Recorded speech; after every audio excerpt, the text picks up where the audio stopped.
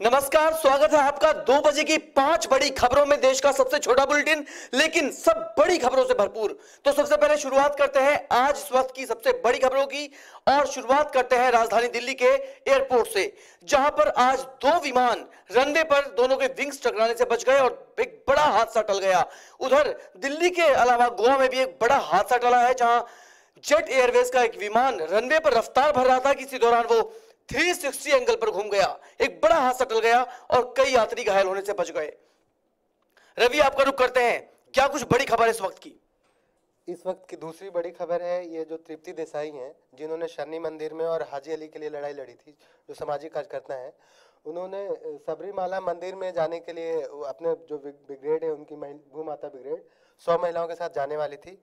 लेकिन केरल सरकार ने उस पर रोक लगा दी है। केरल सरकार का कहना है कि अभी ये बात हम ऑलरेडी सुप्रीम कोर्ट में याचिका दायर कर चुके हैं। वो वो भी चाह रहे हैं कि जो महिलाएँ हैं, सभी एज के महिलाएँ जाएँ। तो जब तक वो फैसला नहीं आ जाता, तब तक आप मत मत आइए, हम उनको आदेश नहीं देंगे मतलब उनको अनुमति नहीं देंगे कि वो मंदिर में जाएँ। तो वो, उनका कहना है, केरल सरकार का कहना है कि वो इंतज़ार करें, जब सुप्रीम कोर्ट का फैसला अगर पक्ष में आ जाता है तो वैसे ही जाने के लिए अलाउ हो जाएगा, कोई सारी महिलाएँ जा सकती हैं। तो इसलिए उन पर रोक लगा दी गई अभी, नहीं जा सकती वो मंदिर में। बिल्कुल तृप्ति देसाई मंदिर नहीं जा सकती, क्योंकि अभी फ़िलहाल फैसला लंबित है, कोर्ट में लंबित है तो तब तक फैसला क्लियर नहीं होगा, कुछ भी कहना मुश्किल है। तृप्ति देसाई को फ़िलहाल फुल स्टॉप एक हल्की सी कह सकते हैं, झटका लगा है, जो प्लानिंग चल रही थी, सरकार ने साफ़ कर दिया है, ठहरो, अभी आप मंदिर नहीं जा सकती। आलोक क्या कुछ खबर है बड़ी? मेरे पास नोटबंदी से जुड़ी खबर है। ये तो आप भी जानते हैं, हमारे दर्शक भी जानते हैं कि नोटबंदी के बाद से जो पुराने नोट थे, उनकी कीमत कम हो गई थी। जो 500 का नोट था, वो साढ़े चार सौ में हो गया था, ये खबरें हमने भी पढ़ी थी। खबर कोलकाता से जो आई है, वो चौंकाने वाली है कि जो पुराने नोट है, पाँच सौ और हज़ार के, वो महँगे बिक रहे हैं। पाँच सौ का नोट साढ़े पाँच सौ में बिक रहा है और हज़ार वाला नोट ग्यारह सौ में बिक रहा है। और इसकी वजह है कि जो बोगस कंपनियाँ हैं, उनको अपने कैश इन हैंड में दिखाने के लिए रकम चाहिए। दरअसल हुआ क्या था कि ये जो फर्जी कंपनियाँ हैं, इन्होंने नोटबंदी के बाद, पहले मैं आपको ये बता दूँ, कैश इन हैंड होता क्या है। ऑफ़िस में रोज़मर्रा के खर्चे के लिए जो नगद रखा जाता है उसे कहते हैं कैश इन हैंड। तो नोटबंदी के बाद इन कंपनियों ने अपनी सारी रकम जो है जमा करवा दी थी या बदलवा लिए थे। अब बचा नहीं है। हम्म। तीसरी तिमाही खत्म होने में सिर्फ़ कुछ दिन बाकी रह गए हैं। थोड़े दिन जो है ये बाकी हैं। अब इनको अपने बैलेंस शीट में कैश इन हैंड दिखाना है। तो इसलिए अब ये पुराने नोटों को ऊँची कीमत पे खरीद के कमीशन दे जो है ख़रीद रही हैं ताकि ये अपने बैलेंस शीट में दिखा सके कि हमारे पास कैश इन हैंड अभी इतना है। बहुत मज़ेदार खबर है। दो बजे की बड़ी खबर है और मज़ेदार खबर इसलिए है कि नोटबंदी के बाद जहाँ एक तरफ़ पुराने नोटों की कीमत कम हुई, वहीं कोलकाता में बिल्कुल उल्टा होता दिखाई दिया। यानी पुराने नोटों की कीमत बढ़ गई। हज़ार का नोट ग्यारह सौ में चलेगा। ये एक बड़ी बात सामने आई है। दो बजे की पाँच बड़ी खबरों में से प्रमुख खबर है। महिमा, दो बजे की पाँच बड़ी खबरों की बात हो रही है। क्या कुछ बड़ी खबर आपके पास है? बड़ी खबर आज भी सपा से जुड़ी हुई है। हमेशा सपा के ऊपर अटकलें लगाई जाती है कि उनके लड़ाई हो रही है नहीं कुंभ में, लेकिन अब लड़ाई का मुद्दा सामने आया है। शिवपाल दोबारा जिस अखिले, अखिलेश ने जिस एमएलए को बाहर निकाला था, उसको वापस घर ले आए हैं, उसको वापस टिकट दिलाने की तैयारी कर रहे हैं। वो एमएलए है राम गोपाल यादव। मैं आपको बताना चाहूँगी, अखिलेश यादव ने उनको बाहर निकाला था और ये कहा था कि हम इसे वापस नहीं लेंगे, लेकिन शिवपाल यादव ने उन पर दोबारा वार किया है। पहले तो उन्होंने गठबंधन खारिज किया, फिर गायत्री प्रजापति को राष्ट्रीय सचिव बनाया, उसके बाद राम रामपाल यादव की वापसी कर दी है। तो कहीं ना कहीं वो पर्दे के पीछे से अखिलेश यादव पर वार कर रहे हैं और चाहते हैं कि अखिलेश यादव का पत्ता यहाँ से साफ़ हो जाए और वो सीएम ना बन पाए। चाचा भतीजे के बीच की जंग है। चाहते हैं चाचा कि अब की बार अगर सत्ता आए तो कमान उनके हाथ में सौंपी जाए।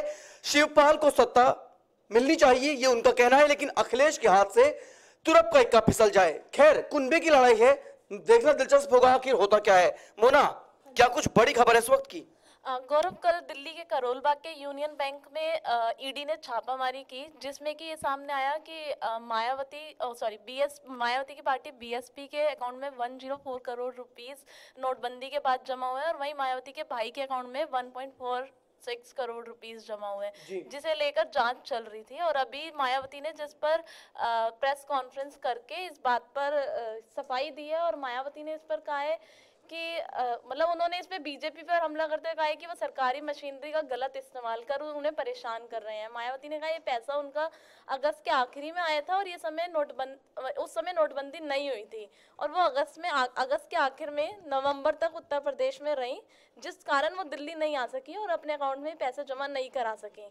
तो उन, और उस अचानक से नोटबंदी का फैसला आया तो उसके बाद उन्हें लगा कि ये पार्टी का पैसा है और ये कोई वेस्ट नहीं है जो उसे फेंक दिया जाए, जिस, जिसे उन्होंने वो अकाउंट में जमा कराया। तो उन्होंने ये सफ़ाई दी कि ईमानदारी का पैसा और ये पार्टी फंड है। और साथ ही उन्होंने बीजेपी पर भी हमला किया कि अगर, उन्होंने कहा अगर नरेंद्र मोदी इतने ही ईमानदार हैं तो वो पहले बीजेपी में कितना नोटबंदी के बाद पैसा जमा हुआ है, वो सामने लाएँ, उसके बाद उन पर उंगली उठाएँ।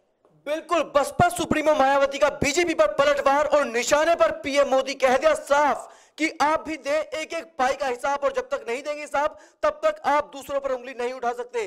मायावती की मोदी पर पलटवार। नियम नीलम क्या कुछ बड़ी खबर है? गौरव अब जैसे पाँच और हज़ार के नोट जमा करने की लिमिट ख़त्म हो रही है टाइम लिमिट उसमें सिर्फ़ तीन दिन रह गए हैं तो खबर आ रही है कि अगर ती, तीस तारीख के बाद किसी के पास पाँच और हज़ार के दस से ज़्यादा नोट मिलते हैं तो उन पे पचास हज़ार तक जुर्माना या फिर जितनी रकम बरामद की गई है उस पर पाँच गुना तक का जुर्माना लगाया जा सकता है। और ये भी खबरें आ रही हैं कि इस पर बुधवार को फैसला लिया जा सकता है। इस अध्यादेश पर बुधवार को फैसला लिया जा सकता है। और एक न्यूज़ चैनल के मुताबिक दो ऑर्डिनेंस पास किए जा सकते हैं। जी। पहले ऑर्डिनेंस में यह तय होगा कि 30 दिसंबर के बाद पुराने 500 और हज़ार रुपए के नोटों में कितनी रकम आपने आपने अपने पास रखी है कितनी रकम रखी जा सकती है। इसके अलावा तयशुदा लिमिट से ज़्यादा नोट रखने पर कितनी सज़ा दी जाए ये भी उस ऑर्डिनेंस में होगा। और दूसरे ऑर्डिनेंस से नोट की कानूनी वैधता खत्म करने की भी तैयारी की जा रही है। तैयारी की जा रही है लेकिन अभी हुआ नहीं है। फ़िलहाल इसलिए डरने की कोई ज़रूरत नहीं है। हाँ लेकिन सावधान होने की ज़रूरत बहुत ज़्यादा है लेकिन हमने आपको दो बजे की पाँच बड़ी खबरों से रूबरू कराया। आपको बता दें कि अभी देहरादून में पीएम मोदी जनता को संबोधित कर रहे हैं, चुनावी रैली के लिए पहुँच चुके हैं, क्योंकि अगले साल देहरादून में, यानी पूरे उत्तराखंड में चुनाव होने हैं। पर्पल पल की अपडेट्स के लिए आप हमारी वेबसाइट के साथ बने रहिए। हमारी वेबसाइट है www.hindi.cobrapost.com तो फ़िलहाल दो बजे की खबरों में बस इतना ही। आपसे लेते हैं विदा। नमस्कार।